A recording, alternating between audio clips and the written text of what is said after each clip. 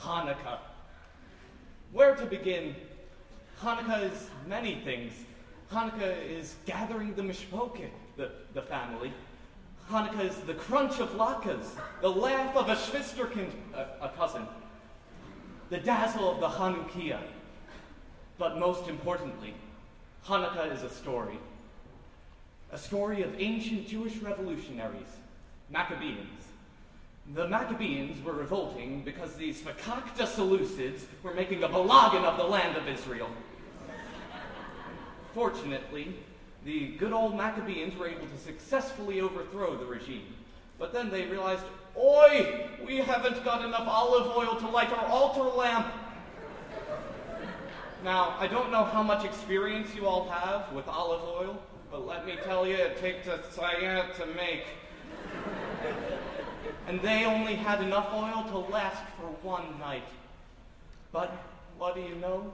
That big mensch in the sky blessed us a good one, for lo and behold, the original olive oil lasted for eight days and nights. And that was more than enough time for the Maccabeans to whip up another batch of olive oil. The day was saved by that blessed miracle, which we still commemorate to this day through the celebration of Hanukkah.